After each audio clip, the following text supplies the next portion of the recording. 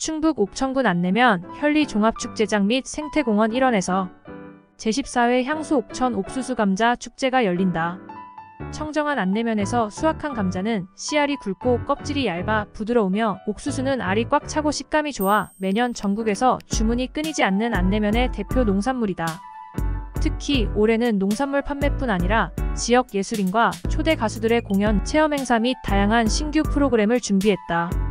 첫째 날 안내면 주민이 준비한 풍물 및 난타 공연으로 신명나게 축제의 장을 연 뒤 오후에는 제4회 콤포 가요제, 벨리댄스 경연대회와 초대 가수 박상철, 이동백, 피터펀, 청희의 공연이 이어진다.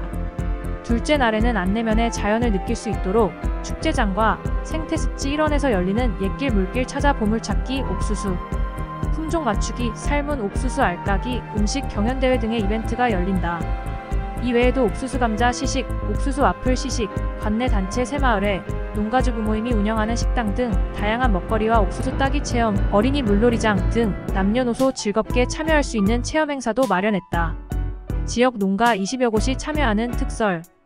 판매장에서는 갓 수확한 옥수수와 감자를 시중가보다 저렴하게 구매할 수 있다.